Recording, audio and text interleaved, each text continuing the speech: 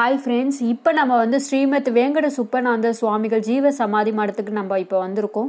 So இந்த சமாதிக்கு இங்கே வந்து பார்க்குறவங்களுக்கு எல்லாருக்குமே வந்து ஒரு பாசிட்டிவ் எனர்ஜி உணர்றாங்க அப்படின்றது கேள்விப்பட்டேன். அது மட்டும் இல்லாமல் நிறைய பேருக்கு நிறைய வந்து மிராக்கல்ஸ் நடந்திருக்கு.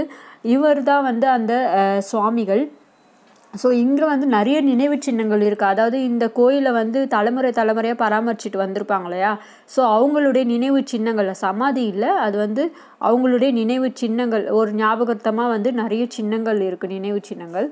அது மட்டும் இல்லாமல் இந்த கோயிலுடைய ஒரு அதிசயம் என்ன அப்படின்னு பார்த்தீங்கன்னா குழந்தை பாக்கியம் இல்லாதவங்களுக்கு குழந்தை வரம் தரது திருமண தடை நீங்கிறதுக்கு கோர்ட் கேஸ் முக்கியமாக வந்து கோர்ட் கேஸ் வழக்கு போட்டுக்கவங்களுக்கு நல்ல தீர்ப்பு வரணும்னு காத்துட்ருப்பாங்க. அவங்களுக்கெல்லாம் வந்து நல்ல ஒரு தீர்ப்பு இந்த சாமிய சாமிகள் வந்து வழங்கியிருக்காங்க.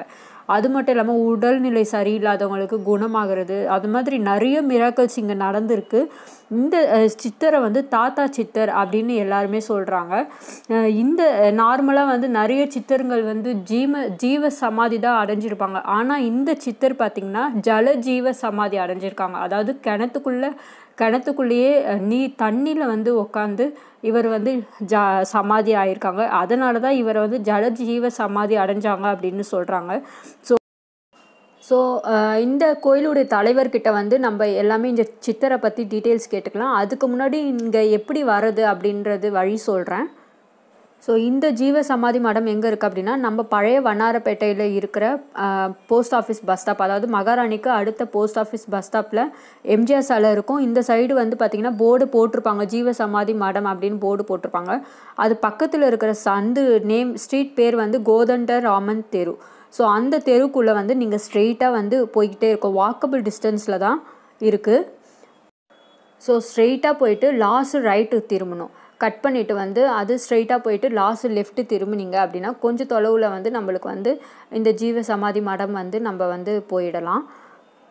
உடைய தலைவரே வந்து இருக்காங்க. அவங்க எல்லாமே சொல்வாங்க உங்களுக்கு இந்த சித்திரை பற்றி வணக்கம்மா. ஐயாவுடைய பேர் ஓம் சச்சி திருத்துறை இந்திரபீடம் கரபாத்திர சாமிகள் பரம்பரையிலும் ஈசு சச்சிதானந்த சாமிகள் மரபில் வந்த ஸ்ரீமத் வேங்கட சுபானந்த சுவாமிகள் தான் ஐயாவுடைய பேரு. யாரும் அவர் அப்படி சொல்ல மாட்டாங்க. தாத்தா சுவாமிகள் செங்கல் சாமிகள் தான் சொல்லுவாங்க. இவர் வந்து இந்த இடத்துல ஆயிரத்தி எட்நூத்தி தொண்ணூத்தி அஞ்சுல பதினெட்டாம் தேதி பத்தாம் மாசம் ஐப்பசி மாசத்துல வர துன்முகி வருடத்துல ஐயா ஜலமுக்தி அடைஞ்சாரு. இவர் வேதம் வேதாந்தம் எல்லாம் படிச்சவர் ஆதிசங்கரர் வழி வந்தவர்.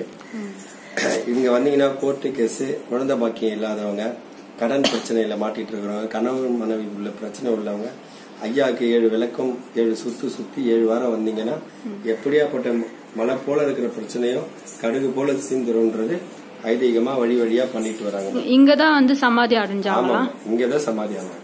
இங்கதான் சமாதி ஆனார் இங்கதான் கூடு விட்டு கூடு பஞ்சாரு இங்கதான் வந்து மக்களுக்கு பட்னி பசியில இருக்கும்போது சாரல் மழை வர வச்சு பல அற்புதங்களை நிகழ்த்திய இடம் இந்த இடம் தான் இருபத்தஞ்சு வருஷத்துக்கு முன்ன ஒரு காடா இருந்தது.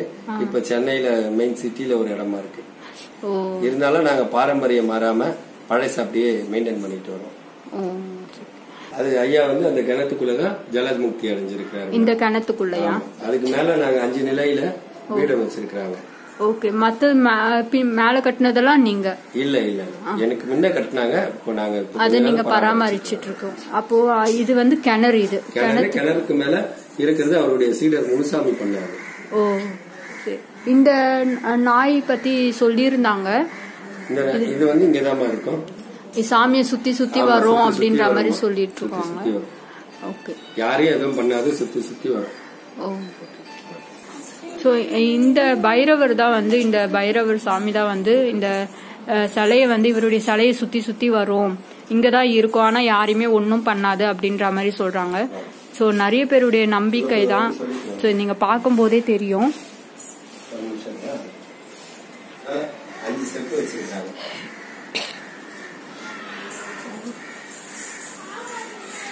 இந்த மாதிரி சமாதி நீங்க எங்கேயும் பாத்துருக்க மாட்டீங்க. இந்த மாதிரி ஸ்கொயரா இந்த மாதிரி எங்கேயும் பார்க்க முடியாது.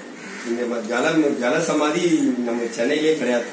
பாண்டிச்சேரியில ஒரே ஒரு ஜல சமாதி எல்லாம் ஜீவ சமாதி தான் அறிவாங்க. இது ஜல ஜீவ சமாதி இதை பாக்குறதுக்கே ஒரு பாக்கியம் வேணும். இந்த பாருங்க இந்த இடத்த பாத்தீங்க எவ்வளவு இடம் இருக்கு. இந்த பைரவர் வந்து இந்த சமாதியை காக்குதுன்னு சொல்லுவாங்க. இதை விட்டு இது வெளியே போவாது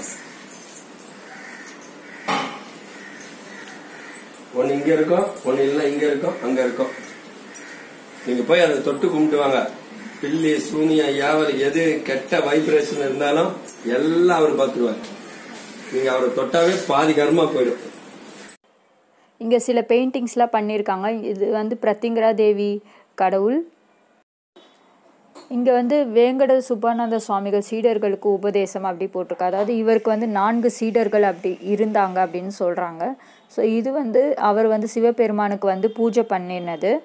அந்த பெயிண்டிங் ஸோ அடுத்தது வந்து தட்சிணாமூர்த்தியுடைய பெயிண்டிங் தட்சிணாமூர்த்தி கடவுள். இவ் இது இந்த பெயிண்டிங் பார்த்தீங்கன்னா அவர் வந்து காசி யாத்திரைக்கு செல்றோம் செல்லும்போது அந்த பெயிண்டிங்